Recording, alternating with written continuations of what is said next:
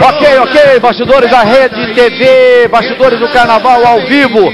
A Iris sendo chavecada. É, jogaram o chaveco pra cima da Iris Stefanelli, ela que tá noiva do Jerônimo.